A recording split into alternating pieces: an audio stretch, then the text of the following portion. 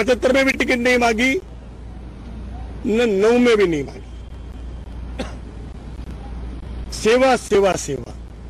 तो सेवा के मनोभाव से आने वाले अगर कोई विशिष्ट व्यक्ति हो तो उनका स्वागत है मगर जिनको कांग्रेस में निम्न स्तर का कार्यकर्ता माना जाता है उनको यहाँ बुला करके पद, पदोन्नत उसकी पद, उसको पद दिया जाए उससे कार्यकर्ता आहत है। मैं इस भावना से भी आहत हूँ, जहाँ तक मेरे बारे में सवाल है, मेरा कार्यकर्ता दुखी है, मैंने अपना जीवन समर्पित किया इस शहर के लिए। आप सब साक्षी हो। हरिन भाई पाठक का बेडरूम में लोग आ सकते हैं। अभी भी लोग बैठे हैं। किसी की माँ मरी हो, मैंने बीएस में अपना पूरा, किसी ने मुझे भारतीय जनसंघ और की जनता पार्टी के एजेंडा में नहीं था कि हरिन भाई आप गरीबों की सेवा के लिए बीएस जाओ। ये एजेंडा में कभी नहीं होता। किसी का बच्चा इकलौता बेटा अमेरिका या न्यूजीलैंड में मर जाता है तो उसकी डेड बॉडी लाने का कोई एजेंडा नहीं होता। दो बजे फ़ोन आता है। अमरेली के चलाला में 2009 के चुनाव में जब अडवाणी जी आए, पूरी 50 लोगों की बस खाई में गिरी। चलाला से फ़ोन आया, मेरा मत क्षेत्र नहीं था अमरेली में। मैंने खंडोरी जी को फ़ोन किया। तीन रात जागा में। और उनकी डेड बॉडी लाई और उन सभी घायलों की सारवार की। उनको खंडोर जी ने तुरंत मेरे कहने से मुलाकात करके पैसे दिए, ट्रेन की व्यवस्था की। तो ऐसा काम करना वाले एक सांसद में हूँ। मैं भी चाहता हूँ कि ऐसा ही काम करने वाला सांसद अहमदाबाद को मिले। मुझे नहीं लगता है कि ऐसी स्थिति में अब नए सांसद जो आएँगे, वो आपको बताएँगे कि मेरी और अहमदाबाद की जनता की अपेक्षा है वो पूरी करेंगे कि नहीं करेंगे? परेश रावल का नाम जो बताया गया है सांसद उम्मीदवार के तौर पर उससे आप कन्विंस हैं? न मेरा मेरा मेरा उसी से लेकर ही थोड़ा है कि अहमदाबाद की जनता की जो मानसिकता है ना वो मानसिकता ये है कि हमारे बीच रहने वाला आदमी चाहिए। सुबह जाकर हम उसका घर अभी ट्रू कॉपी पर साइन कराने वाले चार लोग बैठे आप देख लीजिए घर में Sir, will you continue to remain in the party? Will you contest this election as an independent? आज, मैंने अपनी भावना व्यक्त की है। मैं बहुत आहत हूँ। बहुत आहत हूँ।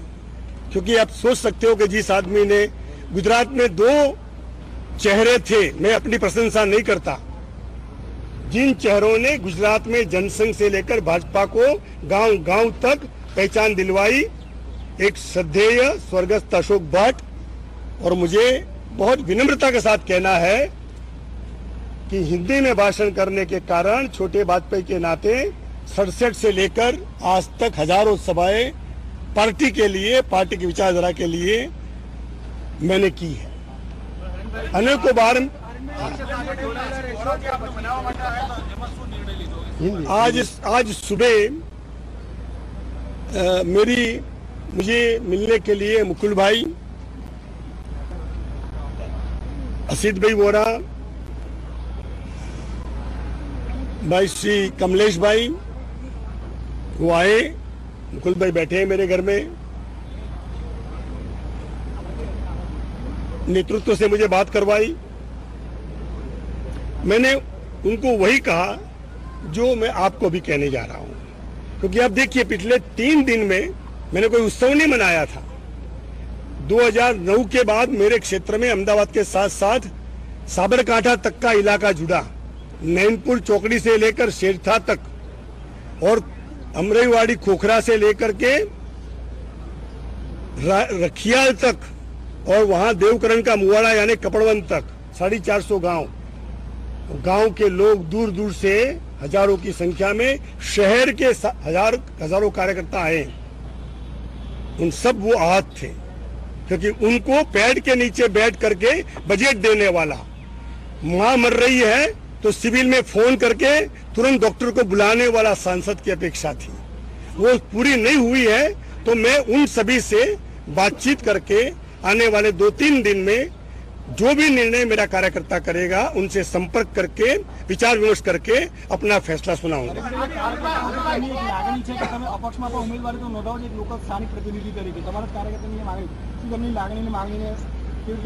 देखिए, मैं सभी कार्यकर्ताओं को मिलूँगा, क्योंकि आज तक जो कार्यकर्ता है वो मुझे शुभकामनाएँ देने के लिए आए थे।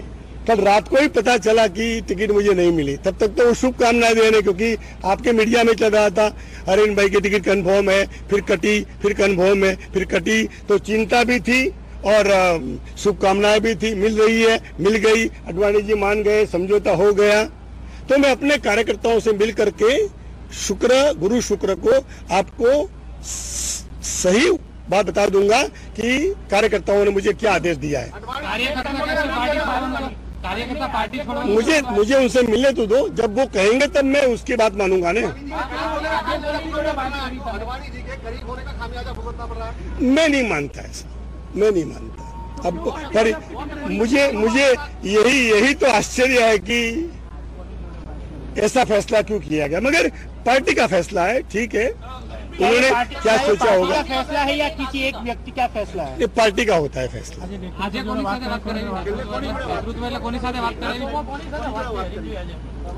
आज मेरी बात सम्मान्य मुख्यमंत्री जी से हुई आई के जाडेजा से जो हुई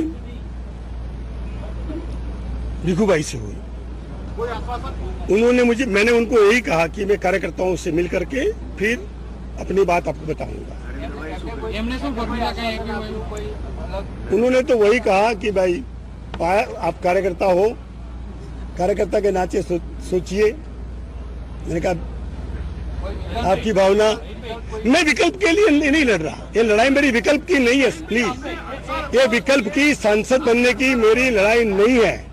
જસવંતસિંહે કહ્યું છે કે અત્યારે ભાજપ અસલી ભાજપ અને નકલી ભાજપમાં વહેંચાઈ ગયું છે તો આજનો ભાજપ અસલી છે કે નકલી છે वो जसवंत सिंह बताएंगे ना તમારું શું માનવું છે તમારું શું માનવું છે नहीं कल सुबह उनका फोन आया था और सुषमा जी का भी फोन आया था वो मेरी टिकट के बारे में अ, अ, पूछना चाहते थे જે રીતે એમને શું કીધું એમને શું કીધું જે વ્યક્તિઓને મળવા મોકલ્યા એ બધા તમારા કરતા બહુ જુનિયર કક્ષાના વ્યક્તિઓ કહેવાય તો તમને એવું નથી લાગતું કે તમારું કોઈ અપમાન ગવાયું હોય કે તમારી કોઈ આવું नहीं देखिए इसमें मान अपमान मान अपमान की बात नहीं है मैंने कहा ना कि मेरे लिए कार्यकर्ता प्रथम है मैं कार्यकर्ताओं की जो बात है उसी के अनुरूप आने वाले तीन दिन में फैसला लूंगा वो कार्यकर्ताओं से पूछ के बताऊँगा तीन दिन राह देखिए। मुझे पता नहीं। वो उनसे पूछिए जिन्होंने काटी है। जब तक मेरे कार्यकर्ता नहीं कहेंगे कि क्या करना है वो नाराज़ बैठे हुए हैं। उनसे मैं उनको पहले तो उनसे मिलूँगा उनकी क्या राय है। फिर मैं आपको तीन दिन के बाद मेरा अगला कोर्स ऑफ़ एक्शन जो है नहीं नहीं, समझिए। निर- निर- निर्णय कपूर, मेरे भाई, मैं पहले से भी कोई पद और प्रतिष्ठा के लिए इस पार्टी में नहीं था। मैंने इसलिए कहा ना कि पर्दा पोस्टल पंद्रह रुपये में से खड़ी लाना, खड़ी कहते गुजराती में, लाल, इससे दीपक बनाना। मुझे एक ही चित्र दौड़ना आता है, उसका नाम है दीपक लैंप। पद के लिए कोई मेरा समझौता नहीं है। પત્રકાર એકલા પત્રકાર એકલા. બાદમાં હું બધા મિત્રોની વાત સાંભળી અંદર પત્રકાર બંધુ वो मैं बाद में ટિકિટ ના મળી એટલે તમને કોંગ્રેસમાં મુદ્દો કેમ યાદ આવ્યો કે કોંગ્રેસના લોકો આવી ગયા એ બહુ ખોટી વાત છે. નહીં ટિકિટ મળી એટલા માટે નહીં. હું નથી એટલા માટે કે ઉચિત ફોરમ પર ઉચિત સમયે બોલાય ને. અને ટિકિટ એટલી કારણ નથી. મેં જે કહ્યું ને ઉમેદવારોની પસંદગીમાંથી પણ હું નારાજ છું. कांग्रेस का कोई निमंत्रण नहीं नहीं नहीं ये सवाल ही पैदा नहीं। सवाल ही पैदा नहीं। सवाल ही पैदा नहीं। मैं मैं इस पार्टी की माँ मौसी हूँ। आपको भूपत भाई पारेख को मालूम है आप कई को मालूम है। उन्होंने मुझे चद्दी पहन के जनसंघ का काम करके देखा है। स्थिति में पार्टी नहीं छोड़ रहे हैं। वैसे तो मैं नहीं छोड़ूँगा party.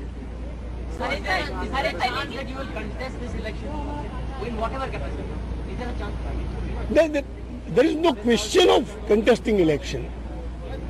The question is about the, the, the, the, the circumstances which has emerged during last three, four months politically, which I stressed in Hindi, that why we need a, tainted fourth rank Congressive workers to join BJP and to endorse their entry, giving them all respect, honor, who has depressed and oppressed those who are those who are oppressed and depressed by them, those dedicated workers. That is the main concern. Arind भाई पिछले दस अरिंद भाई पिछले पंद्रह पंद्रह बारह साल में गुजरात में जिस तरह से भाजपा में राजनीति हो रही है क्या आपको लग रहा है कि ब्रह्म समाज से जो आते हैं उनको साइडलाइन किया जाता है या कट टू साइज़ किया जाता है? अब मैं किसी एक समाज की बात क्यों करूँगा? तो आप समझते नहीं है आप उस समझते नहीं है मैं उस समाज से हूँ मुझे गर्व है कि मैं एक ब्राह्मण हूँ मैं ब्रह्म समाज का हूँ उसका मुझे गौरव है मगर आज जो फेर- फोरम है उस फोरम में मैं अहमदाबाद के जनप्रतिनिधि के नाते बैठा हूँ। अगर ब्रह्म समाज के फोरम पे आऊँगा तब उस ब्रह्म समाज के फोरम पर मुझे अपनी बात ब्रह्म समाज के नाते कर रही होती मैं करूँगा।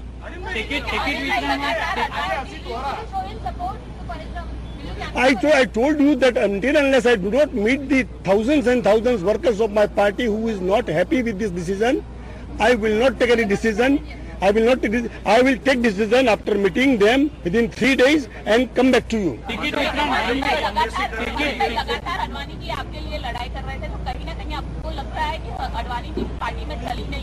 नहीं नहीं नहीं नहीं, Advani ji is the tallest leader देखिए, मैं एक बात आपको बोलूँ। अडवाणी जी, आदरणीय सुषमा जी सदैव अडवाणी जी सदैव जोशी जी, ये सब पार्लियामेंट के लिए, देश के लिए रत्न है, कोहनूर है।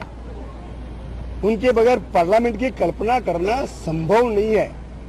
और जहाँ तक अडवाणी जी का सवाल है मैं उनको बहुत करीब से जानता हूँ। पच्चीस साल, तीस साल के बच्चे को भी पीछे छोड़ दे। उतना बढ़िया उनका स्वास्थ्य, उतना बढ़िया उनका मनोबल, पार्टी के लिए जितनी मेरी उम्र है, सड़सठ साल, उससे भी ज़्यादा वर्ष उन्होंने इस पार्टी के लिए दिए। तो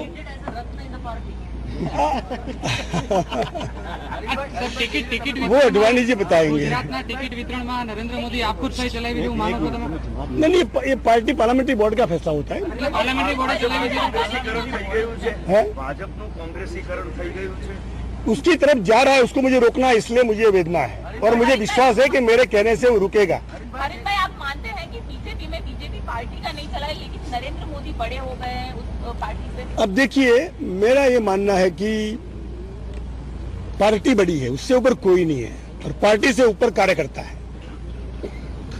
कार्यकर्ता पार्टी बनाता है। और हाँ।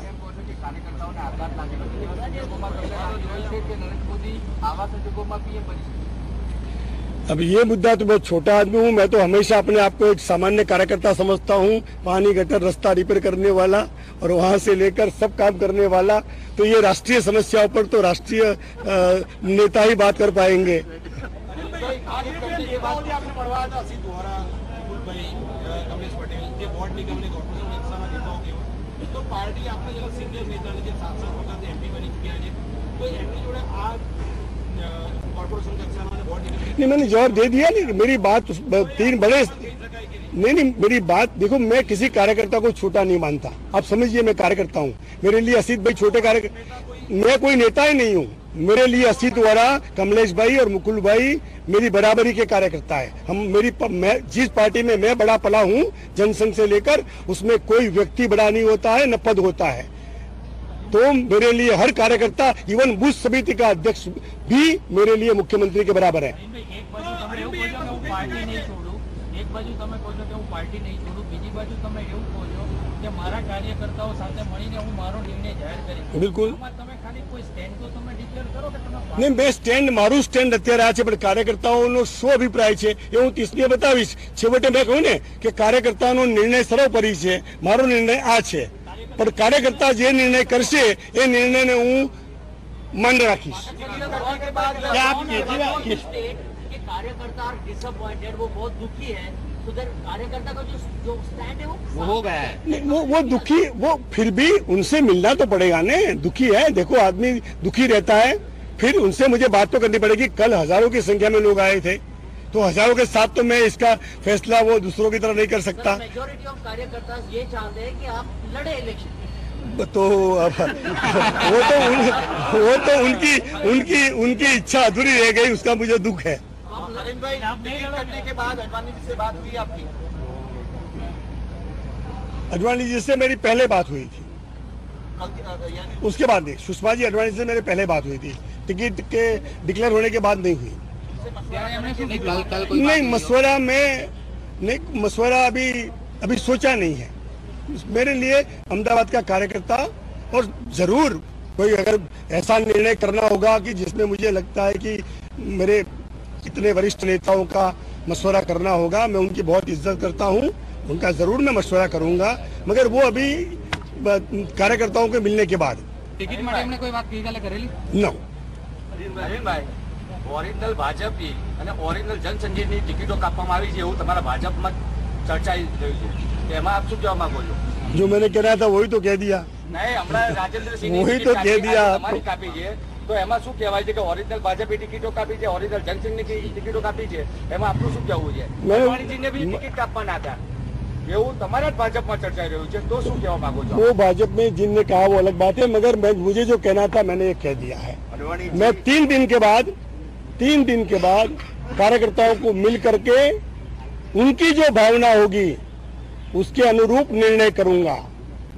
उनकी जो भी भावना होगी આપણા ત્રણ દિવસ પહેલાના શબ્દ એવા હતા કે હું મ- મોદી સાહેબ માટે ટિકિટ સીટ ખાલી કરી છે एग्जैक्टली બરાબર બીજો કોઈ ઉમેદવારને હું બેસવા નહીં દઉં આ तो તમારા શબ્દ હતા સાહેબ. बेसवानी तो नहीं बे- मोदी साहब के लिए मैंने सीट खाली की है मैं वो मैं चाहता हूं कि अभी भी मेरी उम्र छोटी है सड़सठ साल की है स्वास्थ्य अच्छा है अठारह घंटे काम करता हूं अगर पार्टी मुझे अ, फिर आठवीं बार मौका देती है तो मैं आभारी रहूंगा मैं ये नहीं कहा किसी को बैठ नहीं दूंगा ये नकारात्मक सोच मेरी नहीं है અડવાણીજી જસવંતસિંહ મુરલી મનોહર જોશી જે ભાજપના સંસ્થાપક છે એમને સાઇડલાઇટ કરવામાં આવી રહ્યા છે એવું માનો છો તમે? अ, मैं समझता हूं कि ये तो वही जवाब बता वही बताएंगे कि उनके साथ क्या व्यवहार हुआ है તમારું શું માનવું છે કે આ લોકોને मैं बहुत मैंने कहा ना कि मैं आप आज सिर्फ गुजरात और अहमदाबाद के आ- के साथ जो का- कार्यकर्ताओं का म, अपेक्षा थी उन्होंने कहा कि सर आप हमारी बात पहुंचाइए तो मैंने इसलिए मुख्यमंत्री जी से भी बात की और आपसे भी की। कार्यकर्ताओं ने कहा कि आप प्रेस कॉन्फ्रेंस करिए। कल करीबन दो हज़ार लोग यहाँ पर थे।